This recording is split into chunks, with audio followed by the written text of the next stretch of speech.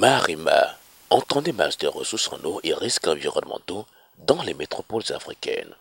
C'est l'offre de formation allégeante et tout à fait innovante que l'Institut national de l'eau INE a présentée au grand public ce mercredi 16 octobre à travers une table ronde bien enrichie dans la salle de conférence du campus numérique francophone de l'Université d'Abomey-Calavi, scientifiques, enseignants et étudiants ont pris connaissance des avantages liés à un tel cursus. La plupart des activités que nous menons se sont jusque-là concentrées sur la problématique de l'eau en milieu rural et l'on a occulté les problèmes liés aux activités anthropiques, surtout dans les grandes villes, sans que l'on ait des spécialistes dans ce domaine-là pour pouvoir régler les problèmes spécifiques à ces grandes villes et principalement aux métropoles des pays en Afrique.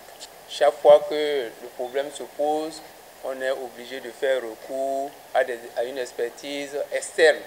Donc c'est ce vide que l'on a voulu combler, qui est apparu au niveau de, de la plupart des villes africaines, qui a abouti à la mise en place ce projet de formation vise à promouvoir autant la qualité et la dimension internationale de l'enseignement supérieur pour répondre aux défis scientifiques et techniques de la gestion de l'eau et des risques environnementaux dans les métropoles africaines avec l'utilisation des outils pédagogiques innovantes.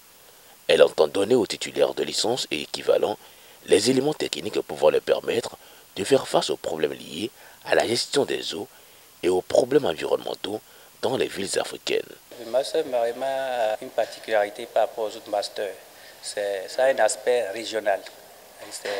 Cinq universités africaines qui se sont mises ensemble pour pouvoir monter la maquette.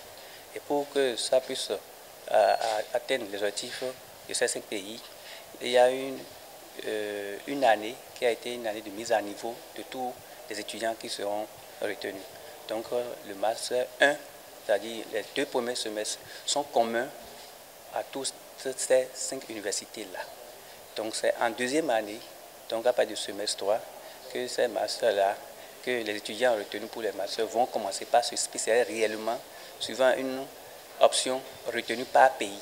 Donc chaque pays a, a retenu une spécialité sur les cinq. Financé par le programme Eramis Plus Capacity Building in Higher Education de la Commission européenne, le Marima reçoit aussi un appui de certains partenaires stratégiques. C'est avec euh, plaisir et toujours renouvelé que euh, les six partenaires euh, d'appui du dispositif dont l'Agence universitaire de la francophonie, dont l'IRD, dont l'Université de Montpellier. C'est toujours avec un plaisir renouvelé qui resteront aux côtés du, dispositif et ce serait toujours avec plaisir que nous accueillerons pour la suite des activités et pour le déroulement même de, de, de la formation. Master ressources en eau et risques environnementaux dans les métropoles africaines. Une belle opportunité qui s'offre désormais aux étudiants et aux chercheurs.